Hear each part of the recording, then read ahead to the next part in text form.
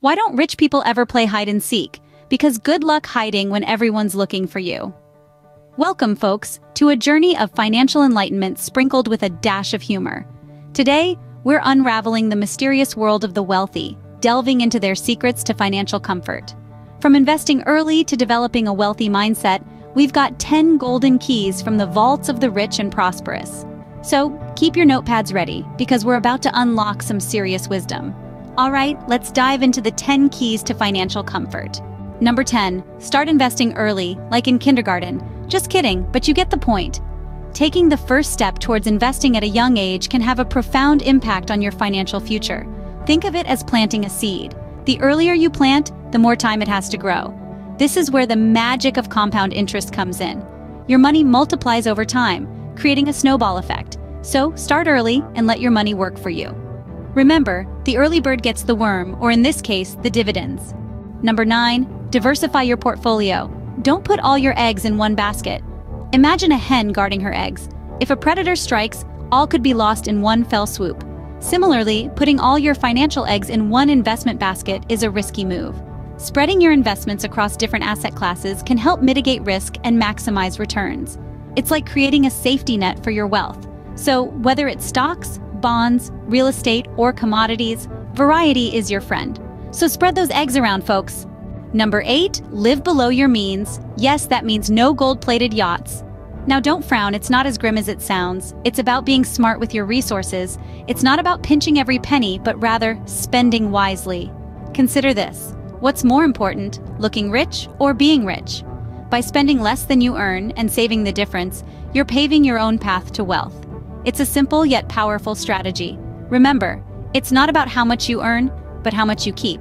Number 7. Prioritize financial education. Because money doesn't come with instructions. You see, wealth isn't just about earning and spending. It's about understanding the financial world we live in. It's about learning the language of money, knowing the difference between assets and liabilities, comprehending the power of compound interest.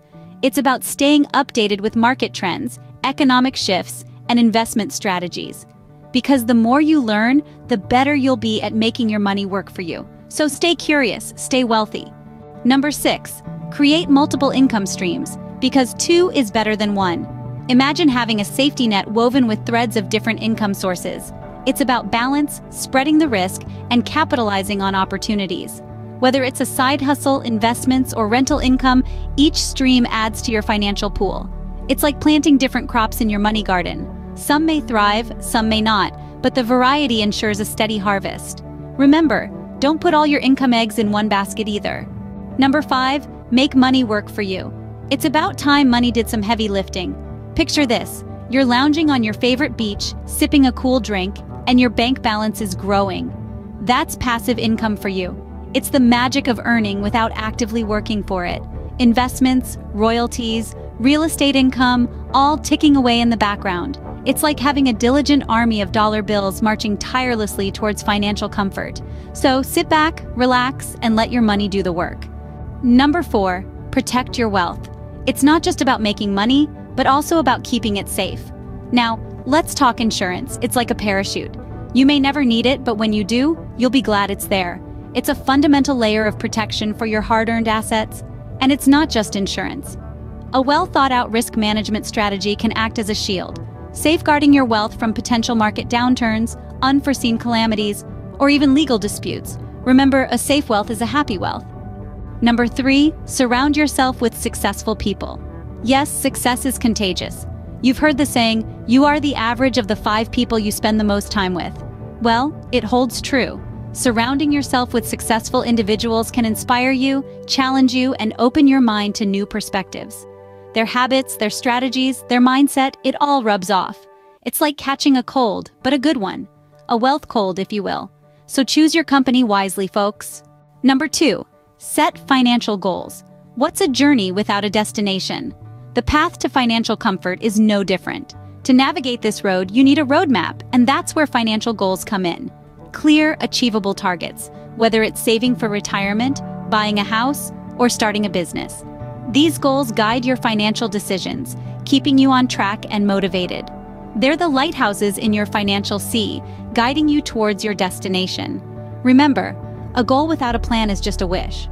And the number one key to financial comfort is develop a wealthy mindset. Money is as much about mindset as it is about numbers.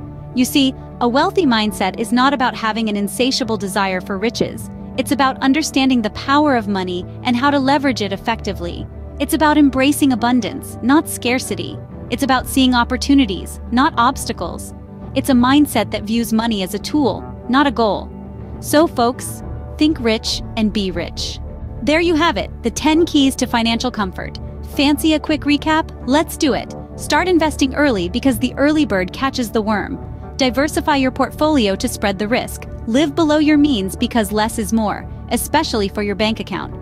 Prioritize financial education because knowledge is the real wealth. Create multiple income streams because who doesn't want more money? Make your money work for you because you've worked hard enough. Protect your wealth, it's your fortress after all. Surround yourself with successful people. They're the best teachers. Set financial goals, they're your roadmap to wealth. And last but definitely not least, develop a wealthy mindset. Because it all starts in the mind, doesn't it? If you found these keys useful, give us a like, drop a comment, and don't forget to hit that subscribe button. Remember, wealth is not about how much money you have, but how you use it. Thanks for watching and stay wealthy, folks.